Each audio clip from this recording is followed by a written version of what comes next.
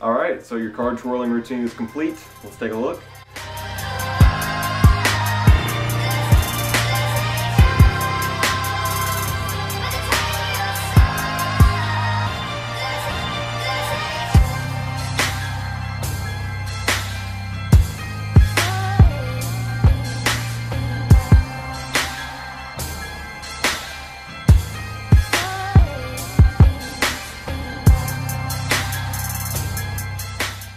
Okay guys, so from me to you, I'd like to thank you for participating in the Build a Twirl project.